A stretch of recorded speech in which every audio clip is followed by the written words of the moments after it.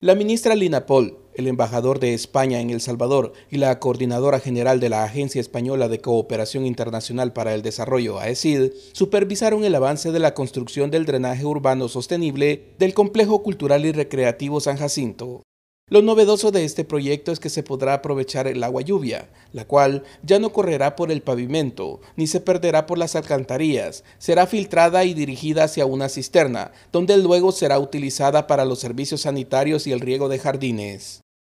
Queríamos demostrar cómo se pueden hacer las cosas bien para proteger el recurso y cómo esto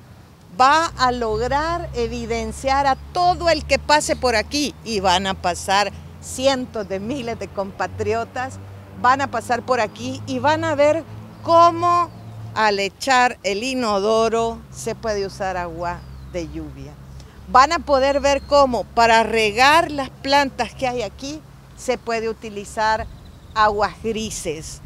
como con pequeñas obras grandes aquí, porque este es un complejo grande, pero después se puede copiar incluso en las viviendas, en las casas, y aquí vamos a demostrar cómo se pueden hacer las cosas bien, más aún, cómo se deben hacer las cosas bien, cómo tenemos que ahorrar este recurso tan vital, cómo debemos aprovechar esta agua lluvia que nos cae. Para la construcción de este drenaje urbano sostenible, el MAR transfirió al Ministerio de Obras Públicas más de 238 mil dólares, procedente del Fondo de Cooperación para el Agua y Saneamiento de la Cooperación Española. Este complejo de San Jacinto va a tener un sistema, como ha explicado la ministra, muy sofisticado de aprovechamiento de aguas pluviales y de aguas grises para poder eh, adecentar y